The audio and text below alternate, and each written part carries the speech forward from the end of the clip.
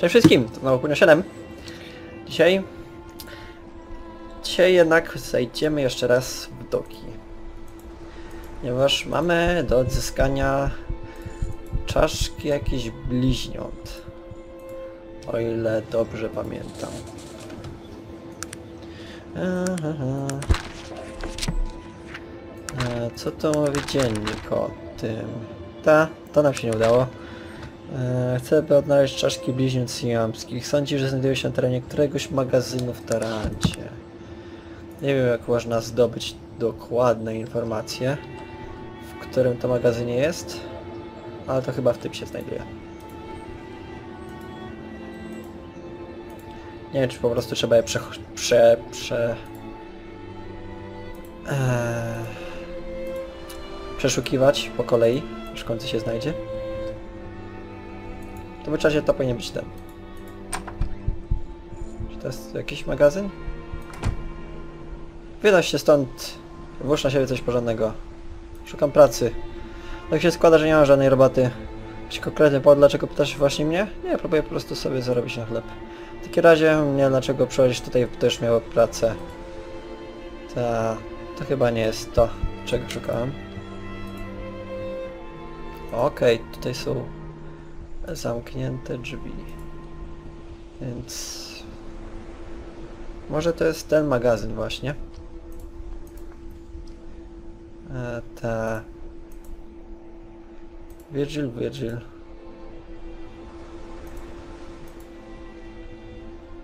E, zamknięte, zablokowane. Ta, cieszę się, że zrobisz to za mnie, Virgil. To jest takie miłe z twojej strony. Okej, wiecie co? Trzeba będzie to zrobić typowym sposobem. Czekaj. Też poczekaj.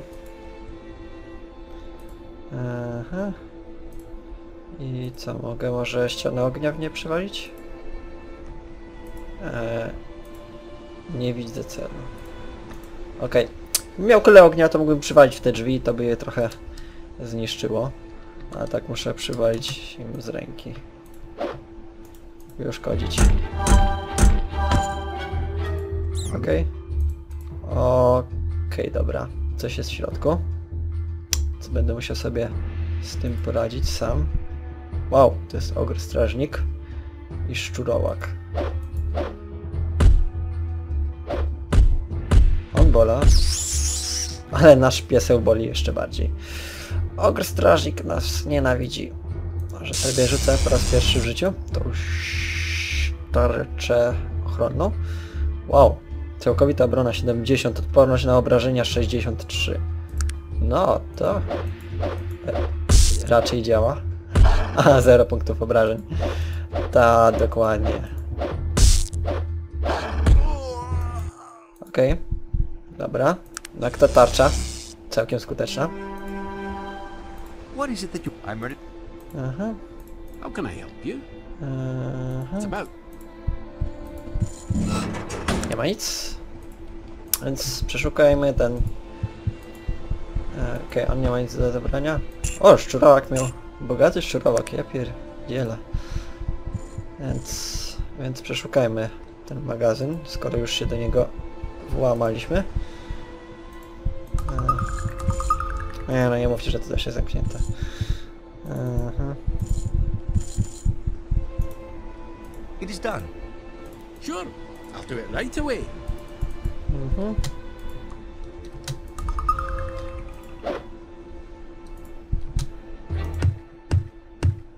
Dzięki psie. Na ciebie przynajmniej można liczyć w kwestii otwierania rzeczy. Okej, ale nie, nie ma tutaj za bardzo nic ciekawego. Hmm, kolczuga jest całkiem okej. Eee, No i co jeszcze tutaj? Powinno to być coś, co nas interesuje.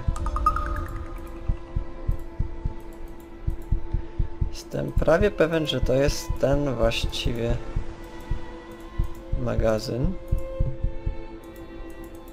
Po prostu... O, to są beczki. Fajnie. Kolejny. Raz uszkodzę miecz. No i znajdujemy czaszki bliźniąt siamskich renar. To nas właśnie nie obchodziło. Saletra nas nie obchodzi. Naboje możemy sprzedać. W sumie karabin myśliwski pewnie też możemy sprzedać, więc wezmę. E, tą kolczugę tutaj też możemy sprzedać, więc, więc różnie, również ją wezmę. Okej. What is it? I'm ready. How can I help you? What's about? Okej, jak bardzo uszkodziłem moją katanę? 85 na 100, więc może będzie już powoli szukać jakiegoś kowala, żeby nam to naprawił. Okej. E, W międzyczasie ruszamy do stacji Warmilon. Pierwsze sprzedamy. Te... E, chwila, chwila, chwila. Magiczna kolczuga, zwykła kolczuga. Eee, magiczna kolczuga jest fajniejsza. Odporność na obrażenia, tak, tak, wszystko ma generalnie lepsze. A w porównaniu do naszej obecnej zbroi, odporność na obrażenia 20, KP 8, KP ile? E. KP 11, KP 12, 23. Troszkę lepsza, ale znacznie cięższa, więc... Eee, więc nie jest to aż tyle przydatne. Dalej będę chodził w mojej niezałatnej zbroi barbarzyńskiej. Nie możemy też tej zbroi dać krasnoludem, ponieważ e, Malgonusowi, ponieważ on jest krasnoludem, więc wymaga małych rozmiarów zbroi. Ta... Ale to kupisz. Wow, 212 monet. Spoko. Tak, nie wiem po co mogłyby ci się przydać naboje w sklepie rusznikarskim. Granat wstrząsowy i naboje. Okej, to są jakieś schematy do wykupienia. e, Ponadstandardowe. Nie, wszystkie nie wszystkich schematów można się wyuczyć. Niektóre można zdobyć tylko poprzez kupno właśnie. Albo znalezienie je. Ta. U, 300 monet, nieźle. Kolejna katana. Moglibyśmy kupić, gdybyśmy chcieli, ale nie chcę. Pobrązowiona zbroja płytowa. Całkiem droga. I całkiem skuteczna. Ale nie chcę. Może mają coś dla krasnoludów? E, nie. E, ciężkie, duże miecze. Wow. 1 do 20. Naprawdę, naprawdę fajne miecze. Ale one są dwuręczne. Ja wolę jednoręczne. Oczywiście mieczy dwuręcznych można również korzystać w jednej ręce, jeżeli ma się wystarczająco dużą siłę. A zazwyczaj dla tych mieczy się nie ma, więc, więc na jedno wychodzi. Okej, macie coś w małych rozmiarach, nie bardzo. Ale macie e, rękojeść. E, to się przyda. A właśnie, Magnusie, masz jedną zbyteczną zbroję. Oddaj ją. Aha. E, nie, nie typ jest. Magnus, możesz dla mnie zrobić kolejny mieczek. E, e, mam na myśli miecz, tak. Dzięki. Kwipunek, co ty tam masz? Masz topór. Więc, więc gra, brawo, Virgilu, dostajesz nową broń. E, wyważony miecz. Mam nadzieję, że się nim nie zabijesz. To jest broń technologiczna, więc da mu większą szansę na porażkę. E, na krytyczne pudło. Więc to nie jest fajnie. Nie potrzebuję nic takiego. O, dobra, nie musieli to e, zanieść złomierzowi. E, dobra, to idziemy do e, pana Cezara, czy jak mu tam? De Cezar. E, przynoszę ci te czaszki. Wspaniale, to właśnie przełom, na który czekaliśmy. No, powiesz mi teraz, co się tam stało? Mm, Mogę ci powiedzieć tylko tyle, ile sam wiem. O areszcie opowiem ci człowiek w imieniu Arthur Tyron. E, Jakiś czas temu rozpoczęto w tajemnicy dziwaczne eksperymenty z rozmnażaniem, które w końcu doprowadziły do zmiany rozkładu sił w Tarancie. Bliźnięta Ranar były pierwszymi żyjącymi owocami tych eksperymentów. I czaszki to pierwszy z długiej serii dowodów, które zbieramy po to, by zdemaskować całą sprawę. E, Kto to wszystko robi? Jaki był cel tych eksperymentów? E, powiedziałem ci wszystko co mogłem. Tyron powie ci resztę. Chcę, żebyś zaniósł mu te czaszki. Byłoby zbyt niebezpiecznie, gdyby to ja go szukał. Okej, zrobię to. Dobrze, z tego co wiem ostatnio był w Czarnokorzeniu. Może tam go znajdziesz. M- Może? E, obawiam się... Obawiam się, że nie. Tyron, tak. E, Tyrona nie ma w Czarnokorzeniu. Nie ma? Czy znalazłeś coś należącego do niego? Notatkę mówiącą kruk jest w niebezpieczeństwie. Tego się obawiałem. Zagrażają nam bardziej niż myślałem. Tak bardzo, że nawet nie podał w tej notatce zakodowanej informacji o swoim miejscu pobytu. Co mam teraz robić? Proszę nie przestawaj go szukać. Musi koniecznie otrzymać te czaszki. Ta, to nam dużo mówi. Więc dużo mam na myśli kompletnie nic. A tego się zapewne domyśliliście. Dobra, ta notatka już nam pewnie nie będzie potrzebna. Eee, ta notatka też nam nie będzie potrzebna. Eee, to się może jeszcze przydać. No i cóż. Myślałem, że dzisiaj sobie zwiedzimy... Hmm, dzielnica handlowa. Gdzie to jest? E, tutaj. Okej. Właściwie tam, tutaj chciałem wylądować. Okej. Muzyka powróciła do normy. E, więc możemy zejść tutaj. Świątynia Panari. Tak, dzisiaj będzie troszkę więcej gadania. Ale mam nadzieję, że Was to zainteresuje. To jest jakiś kapłan. Więc pogadajmy z nim. W imię nas rodzina Panari witają Cię w naszej świątyni. W czym mogę Ci dziś pomóc, przyjacielu? E, Co możesz mi opowiedzieć o Panari? Kościół Panari opiera się na naukach Nazrudina, elfa, który żył w erze legend. Jego głowa Rady Elfów, Nazrudin, e, był przewodnikiem wszystkich raz przed pojawieniem się Aranoxa i jego okrutnych wyznawców. Nazrudin wydał im wojnę i Aranox został pokonany. Wkrótce potem założono kościół Panari. Eee... Czym była era legend? Era legend to okres między 2000 a 1500 lat temu. Wow, dosyć dawno. Okres, gdy magia była znacznie ważniejsza niż teraz, a magowie nie wyruszali, nie wyruszyli na Tulli. Okres smoków, rycerzy i królestw. Okres e, Rady Elfów. E, czym była Rada Elfów? Rada Elfów była grupą elfów i magów pilnujących e, dobrobytu i szczęścia wszystkich ras Arkanum. E, Rządziła nią, rządził nią Nazrudin, mądry i potężny elf. Stał on na czele Rady przez tysiąc lat. Wow, to jest całkiem długożywotny elf.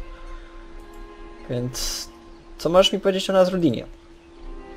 Nazrudin był łaskawym przywódcą rasy elfów. Rządził całym Arkanum przez tysiąc lat, zaprowadzając e, pokój wśród wszystkich ras i pokój i dobrobyt. Jego nauki zostały zebrane w świętym Archeonie i stanowią podstawę wszystkich wierzeń Panari. Archeon, gdzie mogę znaleźć jego egzemplarz? Święta Księga Nauk Nazrudina jest przechowywana w pierwszej świątyni Panari w Kaladonie. Możesz ją tam zobaczyć. Okej, a co powiesz mi o Aranoxie? Aranox był złym elfem, który zdobył władzę w Werze Legend. Wierzył, że tylko on i jego wyznawcy nadają się do rządzenia i skazał wszystkie pozostałe rasy na śmierć.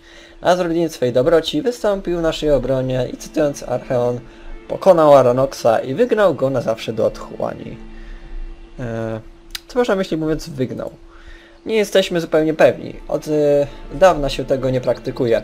Wydaje nam się, że czyn taki wymagał potężnej magii, a osoba raz wygnana nie wracała już nigdy. Miejsce, do którego taką osoba trafiała nazywamy otchłanią, ale nikt nie wie, czy ono kiedykolwiek istniało. Ale Archeon o nim wspomina, więc nie wierzymy. Czy wygnano kiedyś jeszcze kogoś? Tak, Archeon wspomina innych, których spotkał taki sam los, jak Aranoxa. Czterech wymieniono z imienia. E, Gorgot, Krakatur, Kergan i Zagłada Kree. Wszyscy byli bardzo złymi istotami, jednak nie tak złymi jak Aranox. Aro, Aronax. Wybaczcie. Jeżeli zobaczysz kiedyś Archeon, będziesz mógł o nich poczytać. Mm. Czym jest Archeon? Święta Księga. E, dobra. Czym jest Archeon? Okej. Nie mówią nic więcej o Aranoxie. To jest pewna istotna kwestia, którą przemilczeli w tych swoich naukach o Aranoxie. Którą prędzej czy później się dowiecie również wy. Okej. Więc już mniej więcej wiemy, kim jesteś, czym, czyją, czyją e, e, rezurekcją jesteśmy? Coś takiego. Dażnego elfa. E, Okej. Dobra, porozmawiajmy z tym strażnikiem. Co ci się sprowadza miasto barbarzyńca? ja barbarzyńca, czym ty mówisz? O i te czaszki. Ta, potrzymamy je jeszcze przez jakiś czas. O, to miałem sprzedać, zapomniałem. Cóż trudno. Czyli to dom. Tu mieszka Gilbert Bates, przemysłowiec. Pragnę poprosić o audiencję u pana Batesa. Obawiam się, że jest to niemożliwe. Pan Bates nie widuje nikogo, a szczególnie teraz po ostatnich zamachach na jego życie. Zamachach? Pan Bates został zaatakowany w swoim gabinecie przez jakiegoś fanatyka. Dzięki Bogom był tam czaka i złamał napastnikowi kark, zanim ten zdołał skrzywdzić kogokolwiek. Musi być jakiś sposób, żeby go zobaczyć. Cóż, mieliśmy trochę problemów z, saboty- z sabotażystami w fabryce. Jeżeli zająłbyś się nimi, jestem pewien, że pan Bates podziękowałby ci osobiście. Eee, a. To brzmi niebezpiecznie. Pan Bates byłby niezadowolony, gdyby coś mi się przytrafiło. Myślę, Łotrze, że wiem lepiej niż ty, co się będzie panu Batesowi podobało. Eee... Myślę, że nie będzie mu się podobało, że odzywasz się w taki sposób do jego starego przyjaciela. Jak to stary przyjaciel? Eee... Nasze matki były bliskimi przyjaciółkami, kiedy byliśmy dziećmi. To ciekawe, skoro pan Bates został osierocony w młodym wieku, może powinieneś najpierw zagłębić temat, zanim zaczniesz wymyślać historyjki. Hello? Eee... Moja matka jest nekromantką, to nie rozmawiała z jego matką. Widać, że nie wiesz nic o panu Batesie, stary przyjacielu. Okej, może gdybyśmy wymyślili inną historyjkę, to może by nas wpuścił. Ale... Eee, dobra, co może powiedzieć o tych sabotażystach? Niewiele. Zazwyczaj uderzają w środku nocy. Trochę po północy straciliśmy kilku strażników, których wysłaliśmy, by ich powstrzymali. Dobra, zajmę się nimi. Hehe, powodzenia. Fabryka mieści się na końcu alei Ten Hands. Oto klucz. Straż będzie na ciebie czekać. Wróć jak się nimi zajmiesz, a wpuszczę cię na audiencję z panem Batesem. Okej. No, Mógłbym kombinować dalej z tą perswazją i dostać się do środka, ale myślę, że za wykonanie tego zadania wpadnie nam trochę punktów doświadczenia, więc, więc to jest lepsza opcja. Eee, mam nadzieję, że nie będzie żadnych gwałtów i rabunków. Co to za miejsce? To jest fabryka maszyn parowych Batesa. Co mogę dla pana zrobić? Jestem tu, by pomóc w sprawie sabotaży. Więc chodź. Okej. Fajnie. Jesteśmy w środku. Eee.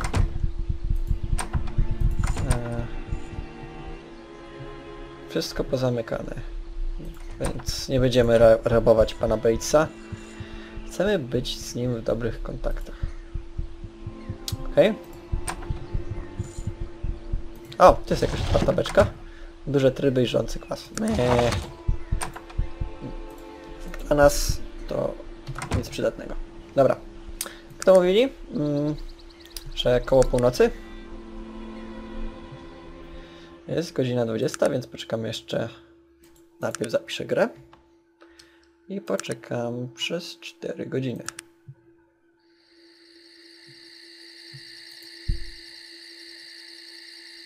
Okej. Okay. Spokojnie. O! I tu są nasi rabunkowcy. Ciekawe czy mają jakąś broń.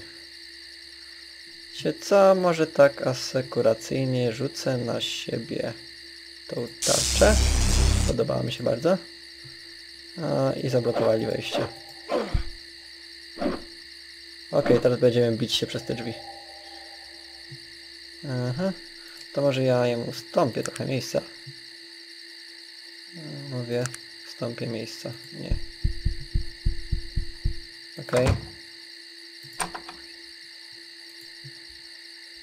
Aha. Nie chcę otwierać drzwi, chcę go zaatakować. Dziękuję bardzo.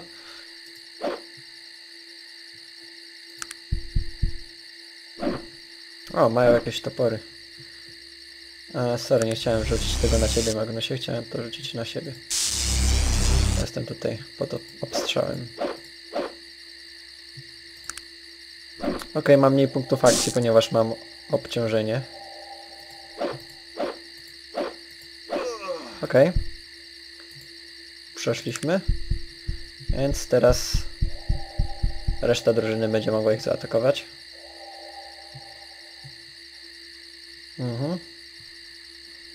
Już tu bardzo kalkuluję ścieżkę. No, pies wchodzi do akcji. E, kogo szybciej zabijemy jego? Krytyczne pudło, au. Pewnie przez to, że to mam te rękawice technologiczne. Tak. Okej, zobaczmy. A nic nie ma. A zamszowa kurtka. Zawsze się przyda, przyda trochę kasy. A sztylecik też będzie parę sztuk złota. A, kolejna kurtka. No i dobra. Czekamy do rana. Upewnimy się, że żadni kolejni zamachowcy nie będą chcieli obrabować fabryki. No i cóż, dobra.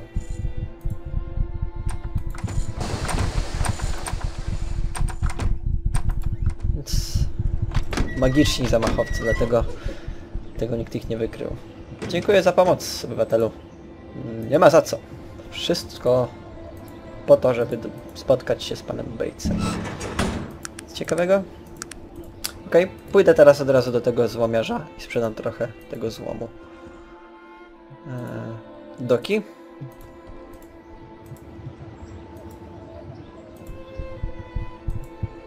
Tak. Wow, 95 monet. Ostatnio dawał mniej, ponieważ była uszkodzona. No. To się nazywa trochę kasy. Ładny garnitur, pewnie.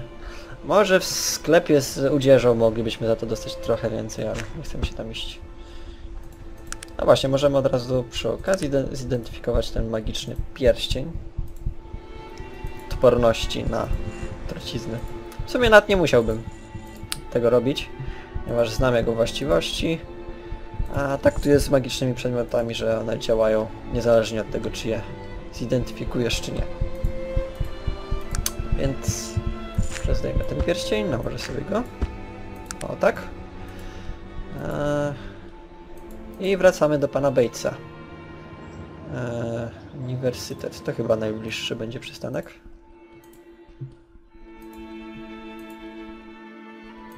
Okej, ubierzmy się jak na taką eee, wizytę.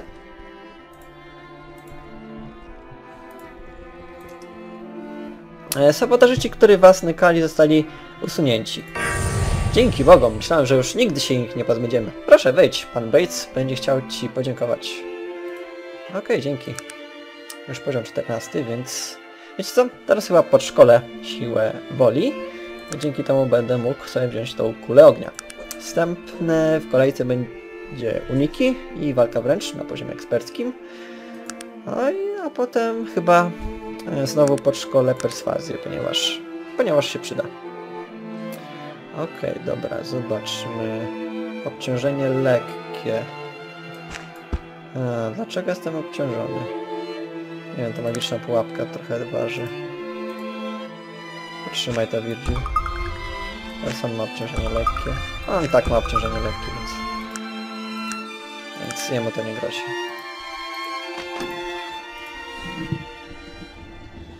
Okej, w następnym odcinku, ha, ha, ha, Tak, cliffhanger. W następnym odcinku rozmawiamy z panem Batesem. Dowiemy się co to za pierścień, skąd go ma, skąd zna tego gnoma i co tu się dzieje. Znaczy, nie dowiemy się wszystkiego co tu się dzieje, ale dowiemy się część co tu się dzieje.